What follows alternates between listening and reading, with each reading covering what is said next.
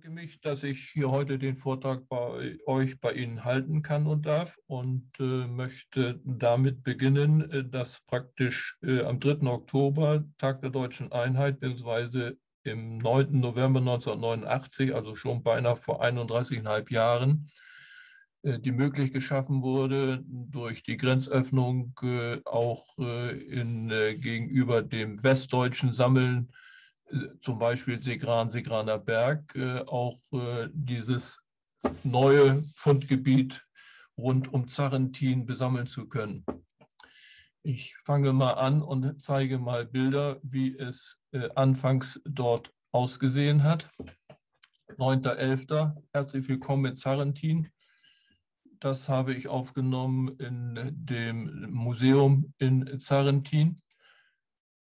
Und gehe mal weiter auf die Topographie Mestmecklenburgs, um zu zeigen, wo genau die Fundstelle um Zarrentin liegt. Wir haben hier die Autobahn, die A24 Hamburg-Berlin und es gibt die Abfahrt Zarrentin, wo dann praktisch der Weg nach Zarrentin auf ist und hier Lüttow, wo Lüttow steht, dort ist praktisch äh, die einzige Fundgrube auf der rechten Seite von der Firma Kobs, während auf der linken Seite damals Wunder, heute Cemex zu Hause ist, hier mit der großen Wasseranlage. Äh, zu Urzeiten wurde hier in Lüttow, Zarentin auch trocken abgebaut. Inzwischen ist auch noch eine Nassbaggerei mit dabei. Äh, gegenüber ne, hier ist Segran, der Segraner Berg sodass wir praktisch hier in diesem ganzen Endmoränenbereich äh, gut sammeln können. Wir haben praktisch in diesem ganzen Bereich das äh, Klosterdreieck Ratzeburg, Rena und Zarrentin. Das ist sehr sehenswert. Wenn man mal eine Rundfahrt machen kann, dann kann man die einzelnen Kloster sehr gut besuchen. Also auch auf der kulturellen Basis ist es nicht ganz uninteressant. Auf der anderen Seite haben wir auch das Biosphärenreservat. Auch eine sehr interessante äh, Geschichte auch jedem zu empfehlen. Einmal das Biosphärenreservat selber, wobei man auch eine Führung machen kann. Äh, da komme ich aber gleich nochmal drauf zurück. Wie gesagt, hier nochmal äh, das, was von den westlichen Sammlern, da äh, möchte ich ausdrücklich nochmal Bernhard Brückmann erwähnen, der dort ja sehr, sehr aktiv gesammelt hat, auch mit Horst Kaufmann seinerzeit zusammen denen aber der Übergang äh, äh, praktisch durch die Grenze seiner Zeit äh, verwehrt gewesen ist. Da komme ich aber gleich nochmal im Einzelnen drauf zurück. Wir haben die maximale Eisbedeckung gehabt von der Elster bis zur Saale Eiszeit. Wir sehen hier praktisch, dass das bis in den Raum äh, Nordrhein-Westfalen gegangen ist, am Rande des Harzes gewesen ist und auch hier sehr weit reingegangen ist über Brandenburg rein bis in die Lausitz. Wir haben dann die nachfolgende Weichsel-Eiszeit, wo wir dann aber doch sehen, gegenüber der vorher gezeigten Grenze oder Grenzen, dass die Weichsel-Eiszeit sich etwas oberhalb von äh, Hamburg bewegt hat, äh, aber immer auf der östlichen Seite, äh, dass Schleswig-Holstein ziemlich geteilt äh, ist und wie die Weichsel-Eiszeit bis in den südlichen Bereich äh, Brandenburg unterhalb Berlins gelaufen ist. Wir können uns das in etwa so vorstellen, dass wir die Gletscherfront gehabt haben, dass praktisch äh, eine Gletscherfront gekommen ist mit dem riesigen Eisbereich und dass es dort ein Gletschertor gegeben hat, dass große Eisblöcke gelegen haben und der Schmelzwasserstrom äh, gelaufen ist und wie dann die gleiche Region nach dem Rückzug des Gletschers äh, sich hier darstellt mit dem Oser, mit den Dromelinen und praktisch äh, am Gletschertor, was überwiegend den südlichen Bereich von Lüttow, Zarentin, Segraner Berg betrifft, gut zu erkennen ist, wie die Auswirkungen durch die Schmelzung Seen geschaffen hat, zum Beispiel hier auch den Schalsee, im Bereich von Zarentin. Nochmal eine andere Darstellung. Äh, man sieht hier praktisch äh, das Eis von Norden kommend, hier mit sehr, sehr vielen Geröllen, hat dann hier äh, die Endmoräne betreffend dieser ganzen Kies- und Sandgruben, die wir dort in dem Bereich haben. Haben dann den Sander und dann hier auch den Abfluss der Schmelzgewässer. Äh, ich sage einfach mal hier das Elbtalmäßige und dann hier auch den Löschstop, was dann rüber geht über die Elbe in die Lüneburger Heide, in die Gegend äh, südlich äh, praktisch der Elbe. Man kann sich vorstellen, dass praktisch durch die Schmelze Strömungen gewesen sind und der Schalsee und die Abschmelzrinnen hier entstanden sind wobei der Schalsee an der tiefsten Stelle hier zwischen 71,5, wie es hier steht, aber mir bekannt ist, auch mit 75 Meter Tiefe ist. Äh, das Sarentin heutzutage direkt hier unten am Rand liegt und dann in diesem Bereich äh, unterhalb praktisch äh, die Fundstelle ist, die ich besucht habe. Ich gehe mal ein auf die vorher in der Geschiebeforschung sehr aktiven Leute. Hier haben wir ein Altbild mit Kurt Eichbaum. Äh, ich würde dann für die Geschiebeforschung vorstellen wollen Dr. Kurt Hucke mit äh, Professor Dr. Erhard Vogt, die ja maßgeblich auf der westlichen Seite geforscht haben, wo es ja auch das Buch vom Hucke gibt. Kurt Eichbaum, wie gesagt, erwähnt, Karl Gripp, nicht zu vergessen Hans-Jürgen Lien und Bernhard Brückmann, sowohl als auch Herbert Motz, Horst Kaufmann. Das sind so, sage ich mal, äh, mit äh, Grip auch äh, die entsprechenden westlichen Koryphäen gewesen, wobei Dr. Werner Schulz, Gagel, Cessin, Brasch, Grant, Tide, Polkowski uns ja allen bekannt sind, die praktisch durch die Grenze getrennt im östlichen Bereich gesammelt haben. Hier haben wir ein Bild von Kurt Cook aus alten Zeiten. Professor Dr. Erhard Vogt und Grip am Seegraner Berg. Da kann man sich ungefähr mal vorstellen, wie seinerzeit äh, ja gegenüber uns heutigen Sammlern äh, ja in sehr guter Klamottage äh, gesammelt wurde, äh, sogar bei schmuddeligstem Wetter, bei Regen und äh, man muss doch sich wundern, äh, heute mit ganz anderem Werkzeug, mit ganz anderen Möglichkeiten äh, gegenüber den Sammlungen unserer älteren Herren hier. Ich habe ein äh, DDR damals äh, wissenschaftliches Heft gefunden, zufällig, das nannte sich die Fundgrube, äh, eine Ausgabe von 1985. Und äh, da sind zum Beispiel äh, Holger Behm, aber auch Rainer Brasch und Michael Zwanzig, die ja auch alle bekannt sind, äh, erwähnt worden. Und das Interessante ist, dass äh, dort ein kleiner Artikel steht äh, über das Storytelling Kalksandstein, äh, das bei Zarentin gefunden wurde.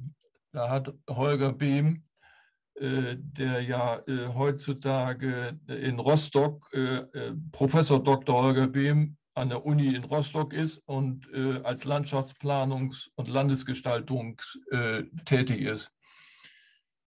Äh, man schreibt anlässlich der Befahrung einer Kiesgrube bei Zarentin im Kreis Hagenow konnte ein interessantes Stück Turritellensandstein geborgen werden, auf eine beachtliche Größe mit 41 mal 20 mal 15 Zentimeter. Kleinere Stücke wurden bereits des Öfteren im Untergrund gefunden. So, und äh, das ist äh, eine ganz interessante Geschichte, dass Holger Behm seinerzeit nicht wusste, was er gefunden hatte und mit diesem Stück äh, praktisch zu Dr. Äh, Schulz gefahren ist nach Schwerin. Äh, der hat sich dann äh, mit äh, Behm unterhalten und äh, Behm konnte praktisch das Stück danach mit bestimmt nach Hause nehmen. Schulz durfte wegen der Grenzziehung fünf Kilometer Sperrgebiet bis Beutzenburg nicht eine, bis nach Zarentin fahren, aber Behm konnte nach Schwerin fahren und konnte danach seltsamerweise diesen Artikel in der Zeitung dort veröffentlichen. Das zeigt uns, wie eng äh, dort gearbeitet werden konnte. Es gab noch einen zweiten Sammler seiner Zeit, einen Gerd Schmal.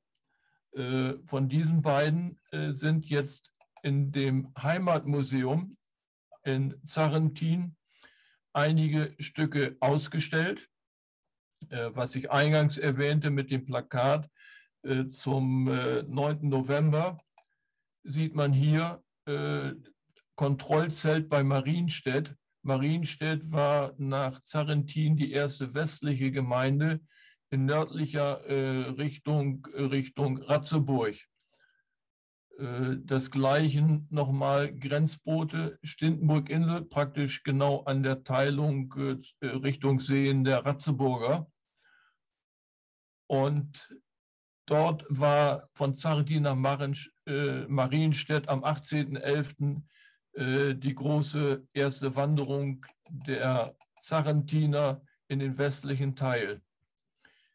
Äh, Vitrinenaufnahmen habe ich machen können äh, im Heimatmuseum, leider durch die Glasplatte, aber es ist äußerst wenig dort zu sehen. Ich habe versucht, einige Stücke dort zu fotografieren. Hier Ammoniten aus dem Callaway-Geschiebe, nochmal Callaway-Geschiebe von der Insel Pöhl, also nicht mal aus den äh, angestammten vor Ort befindlichen äh, Aufschlüssen. Dann äh, äh auch hier eine Seltenheit, eingerollte Nautilin, also Litoiten. Dann Maretia von Gagel aus Sarentin neu beschriebene Seeigel und hier ein Cardiotaxis äh, den der Gerd Schmal gefunden hat. Dann komme ich äh, zu dem Kalkmoor im Biosphärenreservat und kann dazu sagen, die Entstehung des Kalkmoores am Südufer des Schalsees, wo die Schale den Schalsee verlässt, erstreckt sich ein deltaartiges, vermoortes Niederungsgebiet, in das ein Kalkmoor eingebettet ist. Woher kommt dieser Kalk? Während der letzten Eiszeit wurden kalkhaltige Gesteinsmassen bis in die Schalseeregion transportiert. Im Verlauf der vergangenen 10.000 Jahre wurde der Kalk über zahlreiche Quellen in den Schalsee gespült und ausgefällt. Im Zuge dieser Verlandungsprozesse entstand hier am Südufer Kalkablagerung von mehr als fünf Metern Mächtigkeit.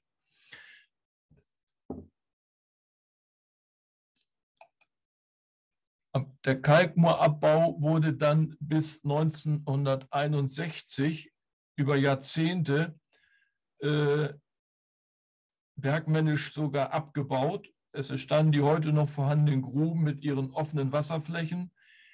Und der Kalk wurde zunächst als Baustoff, Brandkalk verwendet, später auch als Düngekalk. Also wie gesagt, 1961 wurde diese Kalkgewinnung ausgestellt. Wir sind seinerzeit äh, von der GFG organisierte Himmelfahrtstouren äh, unterwegs gewesen und haben äh, praktisch dort eine Führung gemacht. Äh, viele werden sich eventuell dort wiedererkennen.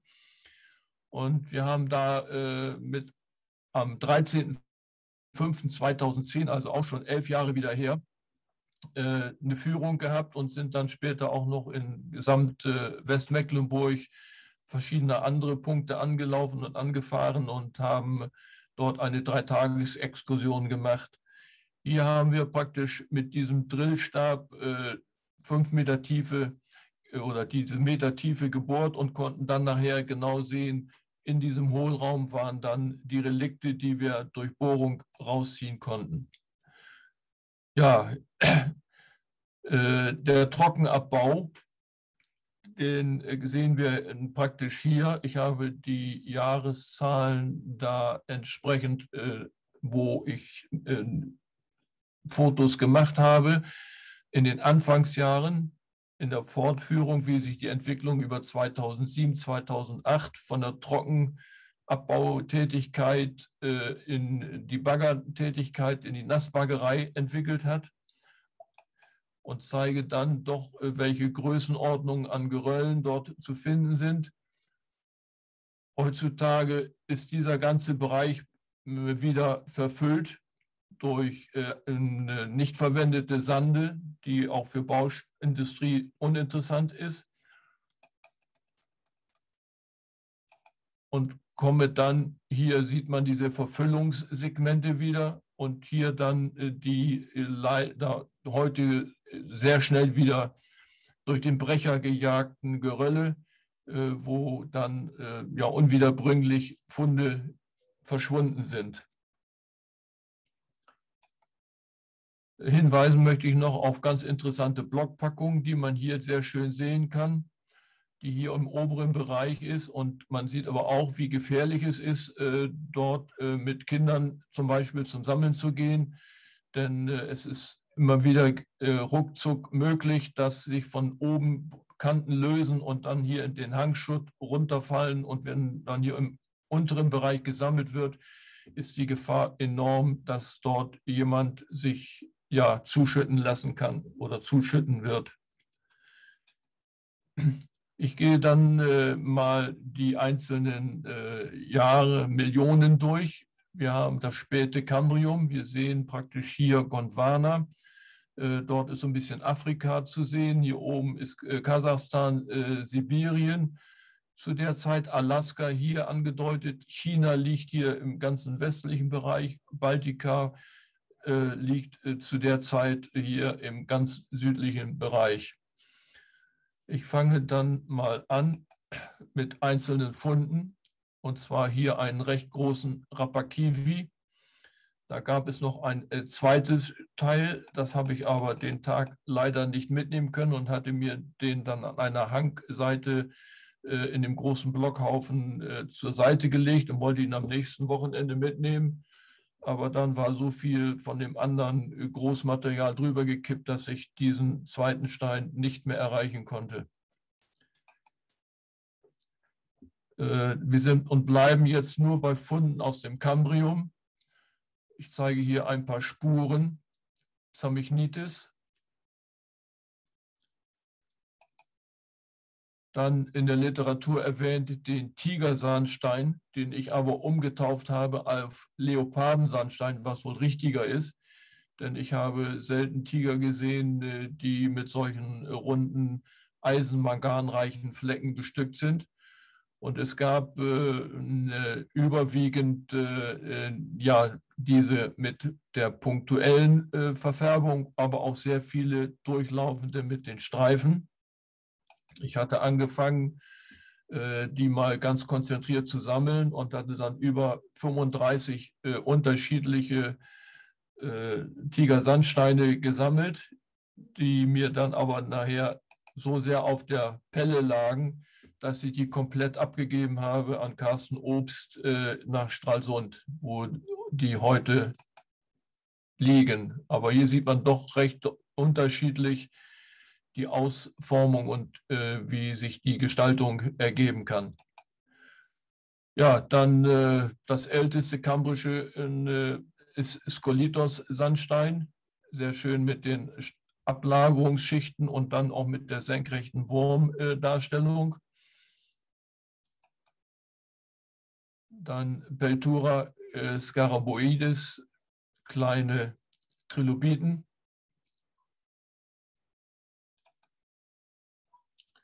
Dann die Stinkhalke mit Agnostus pisiformis.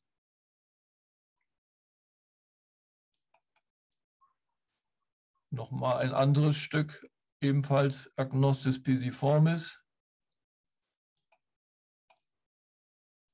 Und damit können wir im Grunde genommen das Cambrio schon weitgehend verlassen und gehen ins Ordovicium. Man sieht hier gewisse Veränderungen schon äh, gegenüber dem vorgezeigten Cambrium-Bild, äh, dass sich da Veränderungen ergeben, äh, dass sich das Ganze ein bisschen mehr nordwärts bewegt und auch Gondwana sich äh, westwärts bewegt und äh, hier auch schon äh, Bereiche entstehen, äh, die darauf hindeuten, wo die Reise hingehen soll.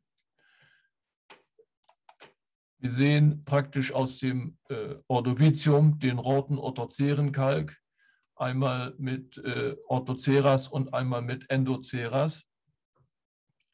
Äh, unterscheiden kann man die beiden äh, durch äh, den Syphokanal. Bei dem Endoceras liegt er ziemlich randlich und äh, beim Orthoceras liegt er ziemlich mittig.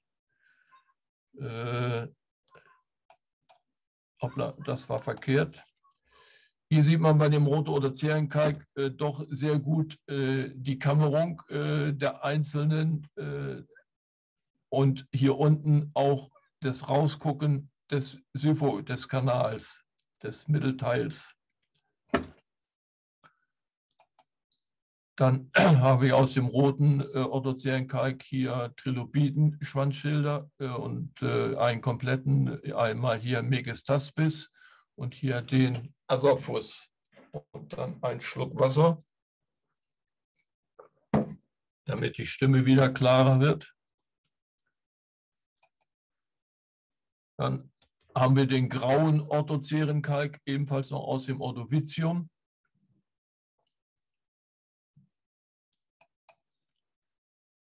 Dann grauen Orthocerenkalk, Menelaeus und Asaphus.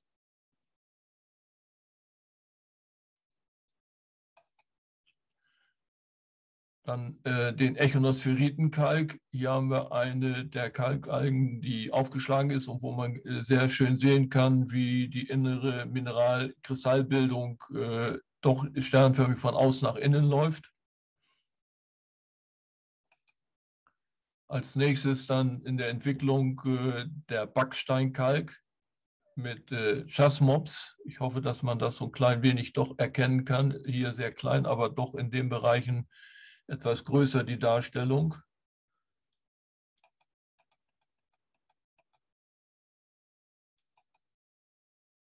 Dann habe ich äh, ein sehr schönes Stück gefunden äh, mit einer Kalkalge, mit der Coelospheridium. Äh, hier ist sie in geschlossener Form, wie sie als Kugel mit dem wabenförmigen Muster zu erkennen ist, während sie hier auf dem gleichen Stück mittig geplatzt ist und lavendelblauen Hornstein zeigt, aber man sieht hier praktisch die dort angedeuteten äh, äh, Hohlkörper und äh, so ist es ein super interessantes Stück, um zu zeigen, äh, wie die Kalkalge sich auch von innen äh, äh, zeigen kann.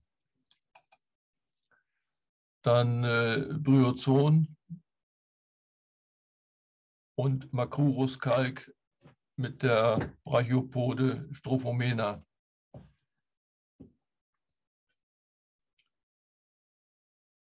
Zack, so, dann gehen wir schon ein Stück weiter.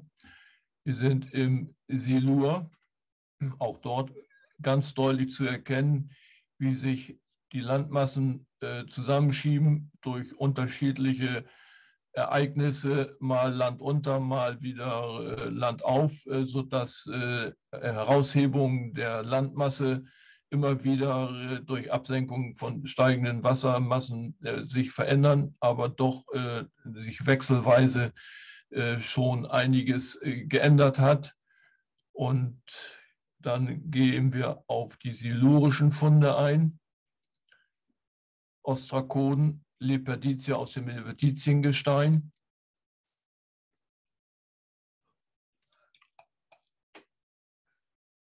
Leperditia im Barichienkalk. Hier sehen wir noch wieder eine Leperditia. Hier ist noch eine. Da oben ist noch eine kleine. Da sind wir dann aber schon im unteren Zentimeterbereich.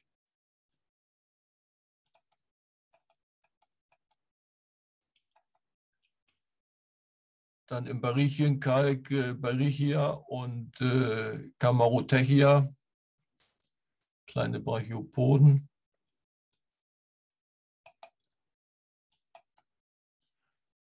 Noch mehr Brachiopoden, das ist Chonetis striatellus, auch im Barichienkalk. Dann kommen wir auf das grau-grüne Graptolitengestein mit Monograptiden, Graptoliten. Man sieht sehr deutlich hier die Strömungseinregelung.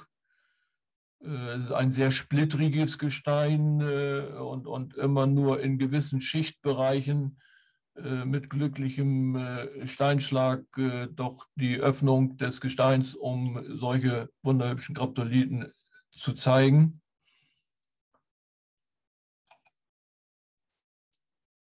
Hier mal eine Nahaufnahme, wo man wunderbar auch hier die einzelnen Theken erkennen kann. das ist Monograptus während wir hier einen sehr langen äh, Monograptus haben mit einem daneben liegenden Orthoceras. Dieses Stück hatte mir seinerzeit in der Grube mal Bernd Hase überlassen.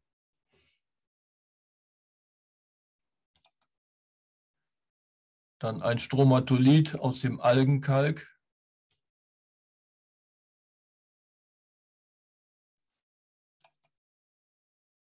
Und dann noch Girvanella problematica aus dem äh, Girvanellenkalk als Algen.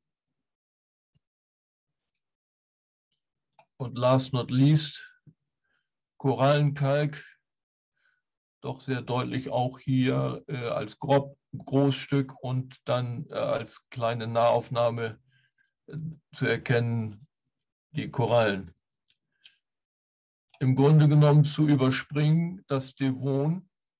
Ich zeige jetzt nur, dass es äh, diese äh, Verschiebung gegeben hat. Äh, Carbon. Leider habe ich von diesen äh, Perioden bis zum Perm nichts gefunden dort, was vorzeigenswert wäre auch aus der Trias, aber es ist doch schon äh, deutlich zu sehen, wie sich jetzt einiges zusammengeschoben hat. Äh, hier haben wir schon äh, das Tethysmeer zu sehen, hier schon den großen Atlantik, Australien, Pangea hier, Afrika und Baltika schon ja in dem Bereich, wo es sich so ungefähr heute befindet, Ural, Sibirien. Also es ist schon deutlich zu erkennen, wie die Entwicklung weitergehen wird. Wir sind dann äh, schon im Jura, auch da schon eine gewisse Trennung. Zentralatlantik äh, hier ist in der Entstehung tätig, ist hier Bereich und sind dann letztendlich mit einem Callaway-Geschiebe dabei, das Callaway-Geschiebe ist aber im Zarrentiner Bereich sowohl auch als im Segraner Bereich äh, nicht so häufig und so äh, gut ausgeprägt, wie es praktisch in weiteren östlichen Bereichen, sagen wir mal Basedow oder noch nördlicher, äh, nord, noch nordöstlicher gehend, gefunden werden kann mit, mit ganz anderen Funden auch in Polen äh, sind sehr gute Funde möglich.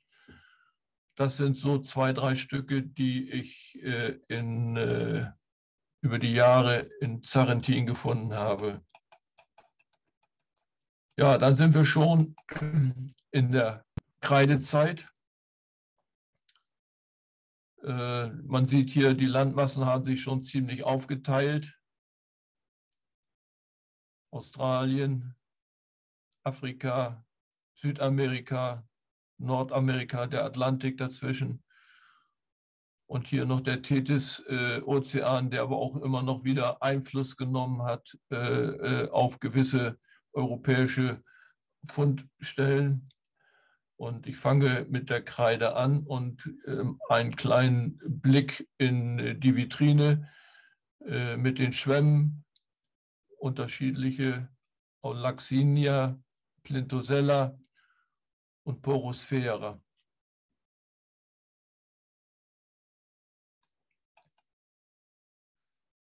Dort auf einem Flint eine kleine Porosphäre und hier die Plintosella, ein relativ großes Stück.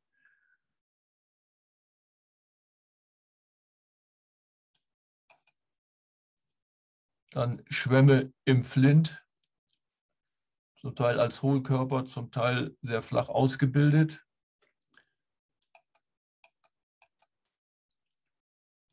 Dann ein Fund äh, ja, mit 16 cm mal 17 cm nachempfunden, äh, im Vergleich äh, zu den Hannoveraner Kreideschwämmen, die dort gefunden wurden, sind wir äh, uns einig geworden, dass das wohl ein Abdruck von Brochodora römeri ist.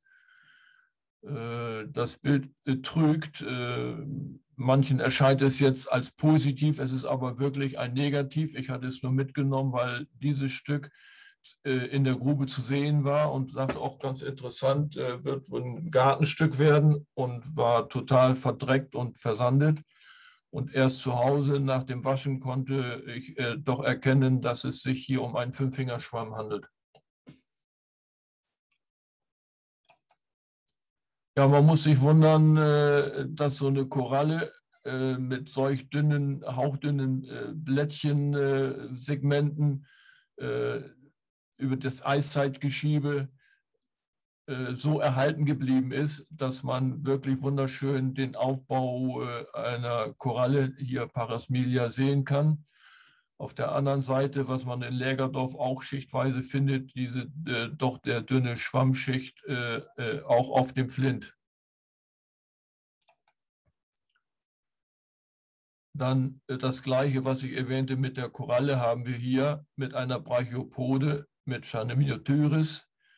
Äh, man sieht hier praktisch das große äh, Flintgeschiebe mit dem Ansatz der Brachopode und hier wie doch die dünne Schale sich äh, durch Geschiebe erhalten hat und können hier sehr gut reinschauen in das Innere und auf das Segment, was erhalten geblieben ist bei dieser Brachiopode.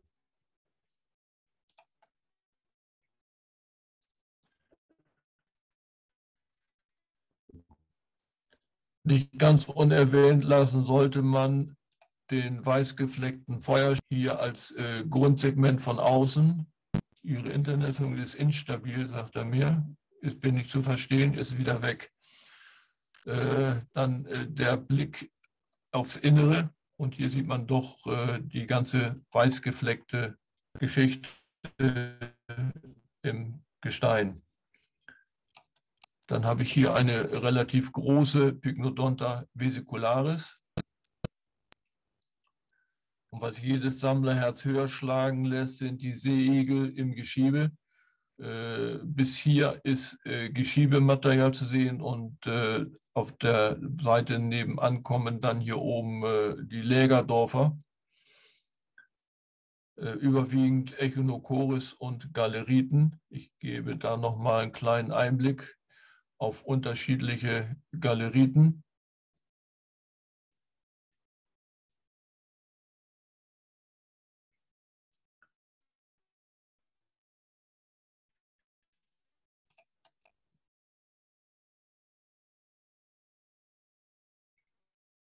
Das war verkehrt, das war ein Echinocoris. Das muss ich mir eben schnell korrigieren. Echinocoris und hier kommen die Galeriten.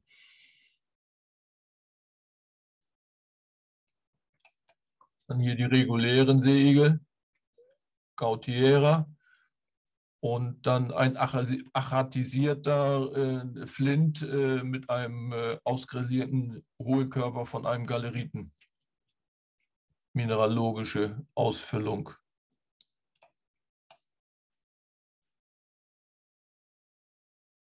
Dann ein sehr schönes Fundstück, äh, danke ich Helge dafür, dass er mir den so äh, wunderbar fotografiert hat, äh, was ich mit meiner Technik während der Tiefenschärfe nicht so hingekriegt habe. Ein Stereozidaris Hagenovi.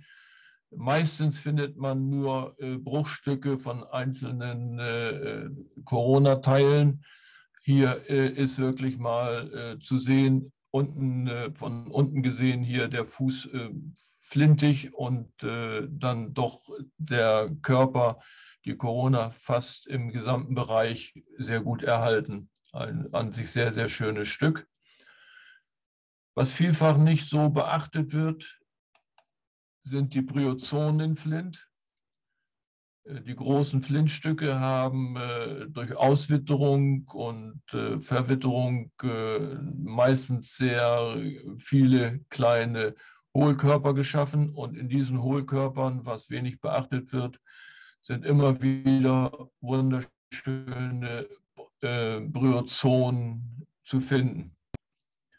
Hier als Beispiel der riesige Flint mit dem kleinen äh, ausgeschwemmten und verwitterten Hohlraum und in diesem Hohlraum dann hier die einzelnen Bryozonen. Es gibt da irgendwo äh, mal ein Bild, äh, wo diese ganzen Bryozonen als Chorknaben mal irgendwo so aufgezeichnet gewesen sind und zu lesen gewesen sind. Dann weiter in äh, der Kreide bin ich im Maastrichum, eine Neitea, eine Jakobsmuschel. Dann ein ganz besonderer Fund, äh, das ist eine Palega, eine Isopoda, eine Meerassel äh, im Darnflint.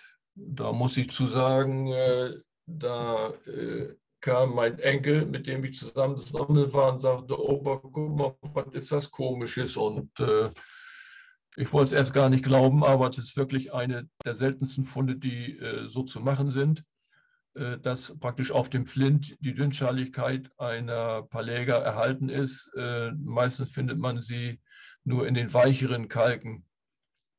Ich weiß, Dieter Kettel hatte auch mal eine gefunden in meinem Beisein, die ist dann aber auch weitergegangen. Hier sieht man nochmal ganz deutlich die Segmentierung, aber und hier unten auch äh, das äh, Schwanzteil. Man findet überwiegend nur diese acht Segmente und äh, das ist ja auch nicht mal eine ganz feste chitinhaltige Sache gewesen. Und hier oben war der Kopfteil und den findet man als Weichteil äh, äh, bis jetzt noch nie gefunden. Ich weiß nur von drei weiteren äh, Paläger, oder Meerasseln, Isopoden, äh, die befinden sich in der Sammlung äh, Frank Rudolf. Das Teil ist auch mehrfach veröffentlicht worden. Ja, dann darf natürlich der Korallenkalk, der Faxekalk nicht fehlen. Auch ein sehr schönes Stück.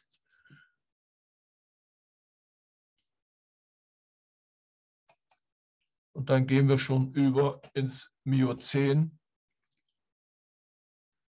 Wir haben hier jetzt wirklich schon äh, so die Landaufteilung, wie sie heutzutage ist.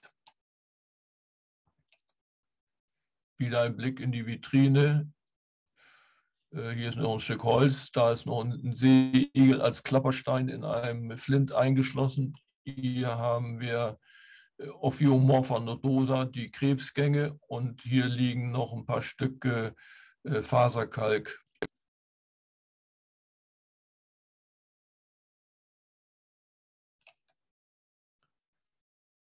Hier nochmal die Faserkalke, eine Tufflage. Äh, die Tufflage trennt sich mittig und wächst nach oben sowohl als nach unten. Und hier nochmal recht deutliche Kotpillen ausgestaffelte Ophiomorpha nodosa Krebsgänge.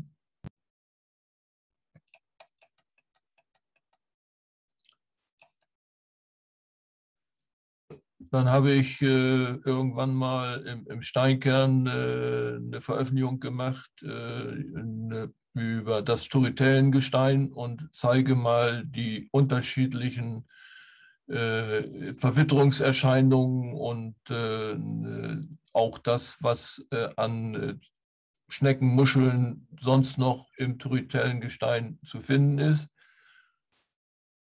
Das, was dem Sternberger sein Sternberger Kuchen ist und dem Holsteiner sein Holsteiner Gestein, haben wir hier äh, überwiegend im Zarentiner Bereich.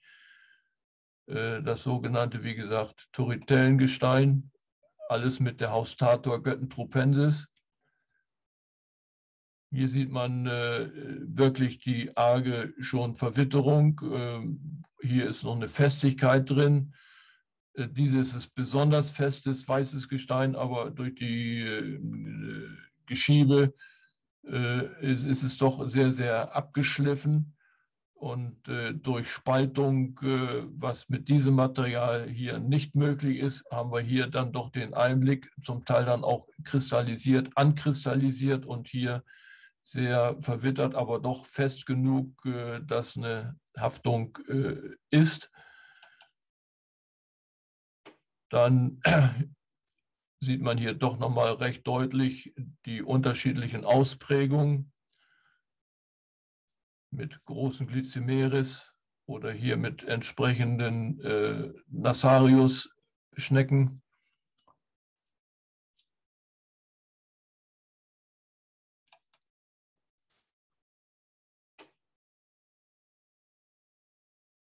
Da haben wir das Sternberger Gestein aus der äh, gleichen Oligozänlage. Äh, haben sich einige Stücke doch so ein bisschen verirrt, auch äh, äh in den Zarentiner Bereich.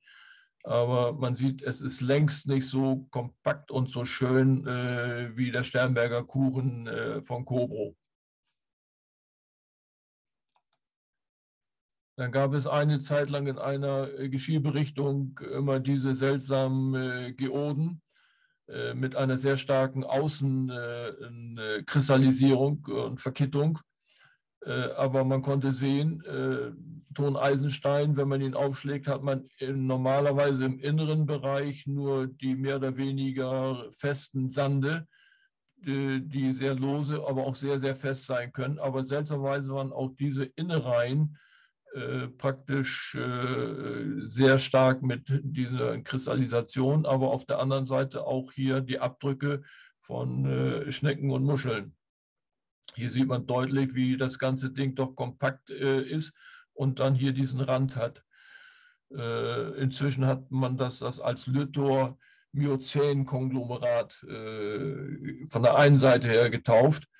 Auf der anderen Seite bin ich da nicht ganz mit einverstanden, äh, denn äh, da ist mir, glaube ich, so ein bisschen zu voreilig äh, was interpretiert worden, was nicht so ganz dem entspricht.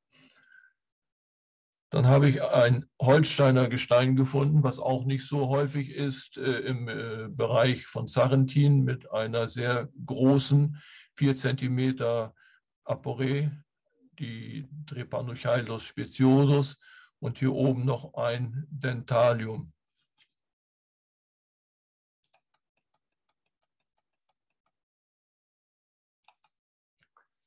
Als nächstes nicht so sehr beachtet, was äh, auch sehr klein gehalten ist, ist der vaginellen Kalk. Äh, wir sehen hier die Vaginella austriaca und dort noch ein Echinocyamus, einen kleinen äh, Millimeter, 5 Millimeter äh, Bereich äh, Seeigel. Äh, an sich ist diese ja, Meeresschnecke äh, nicht landmäßig, sondern eine Hochseeschnecke und muss wohl in Aufspülungsbereiche gekommen sein, gut versandet und gut versteinert worden sein denn normalerweise sind äh, diese vaginellen äh, ja, glasklar und als Hochseeschnecke. Äh, und äh, so ist sie kaum. Hier ist auch noch eine, Muschel, eine Schnecke dabei. Äh, also davon habe ich dann in den Jahren auch nur drei bis vier äh, Teile gefunden. Dann kommen wir auf das Rheinbecker Gestein ich nenne es bewusst Rheinbecker Stein. Das ist die westdeutsche Bezeichnung. Äh, auf der östlichen Seite äh, im Mecklenburg-Vorpommern wird es das als Pectunculus-Gestein äh, behandelt. Man sieht hier doch sehr schön die, eine Maretia, ein, ein Seeigel und hier den großen, starken Muschelbesatz.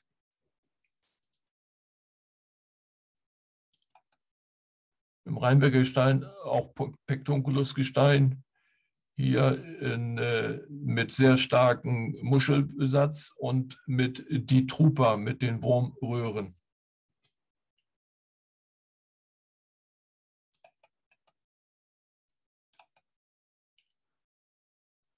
Dann äh, Isocardia, Myocardia harpa, recht groß.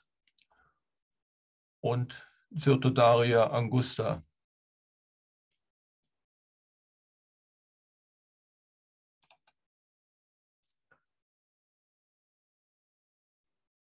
Da haben wir einmal einen kleinen Seeigel und hier auch nochmal entsprechend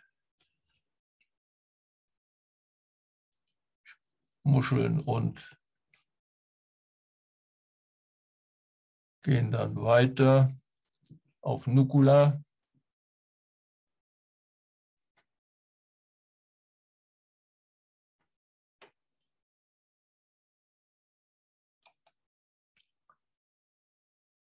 Dann haben wir hier eine Murex und hier eine Semikassis.